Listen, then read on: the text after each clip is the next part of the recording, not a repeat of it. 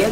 कुछ अपने कैरेक्टर के बारे में बताइए। मतलब ऐसा लग रहा है कि गाँव का, का मतलब एक स्लम एरिया का कैरेक्टर आप लोगों का है। क्या है कुछ अगर आप बता नमस्कार मेरा नाम कुणाल शेठ है। मैं आ, मेरा नाम इस कैरेक्टर में मेरा कैरेक्टर का नाम है बंटी।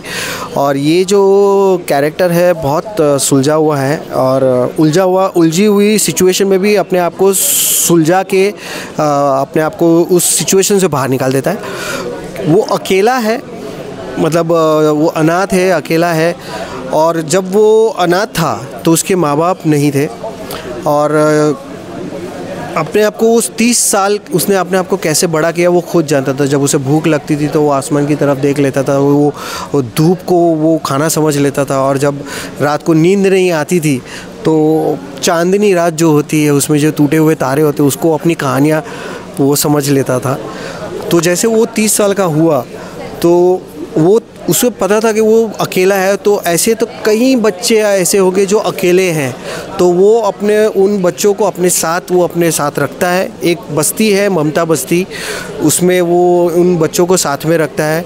और दो बच्ची होती है और एक बच्चा होता है और एक छोटा सा वो वो, यानी कि एक बूज़ो है जो डॉगी है, बहुत प्यारा तो वो पाँच पांडव गिने जाते हैं।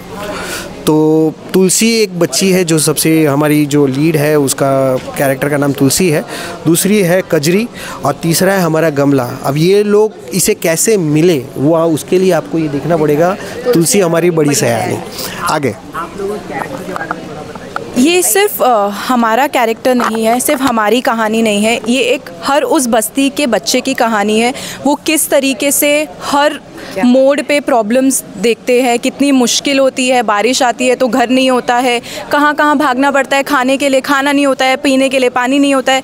उसके बाद भी वो एक दूसरे के साथ रह के कैसे खुश रहते हैं ये उसकी कहानी है जिसमें मेरा कैरेक्टर है कजरी का।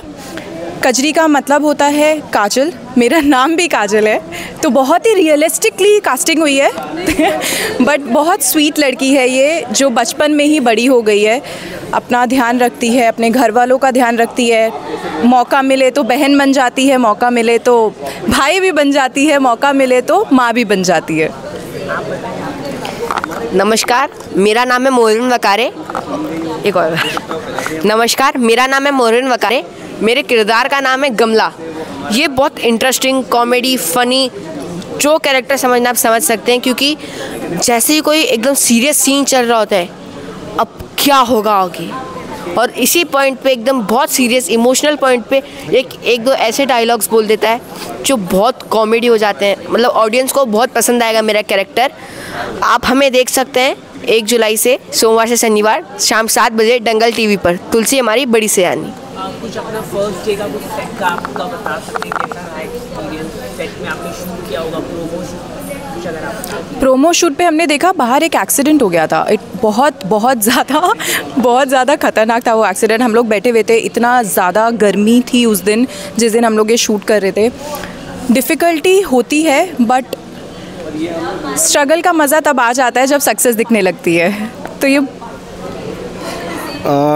पहले दिन का जो शूट था वो बहुत प्यारा था कि जो हमारी एक्चुअल जो हमारी पहले दिन की शूटिंग थी मैं पहली बार मैं जो जिस डायरेक्टर के साथ काम कर रहा था कर रहा हूँ इनफैक्ट उनका नाम है मिस्टर कौशिक घातक।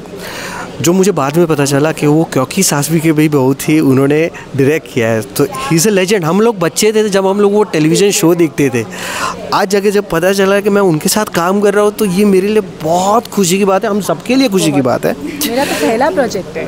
मुझे तो तब उस दिन मतलब चार पाँच दिन के बाद पता चला कि ये कौशिक सर वो सर है। तो I am very happy with shooting with that यही चीज़ है। दर्शकों से आप मैसेज दे दीजिए मैसेज देना है तो देते हैं। हाँ? देखिए हमारा ये नया शो आ रहा है तुलसी हमारी बड़ी सयानी। सो ये दंगल चैनल पे आ रहा है और ये नंबर वन चैनल है। तो नंबर वन शो भी है और आपको नंबर वन से बनाना भी है। तो यही हमारा ये कहना है हमारे दर्शकों मित्रों से कि आप देख, देख सकते, सकते हैं। सोमवार से शनिवार शाम सात बजे तुलसी हमारी बड़ी सयानी एक जुलाई से। दंगल चैनल पे।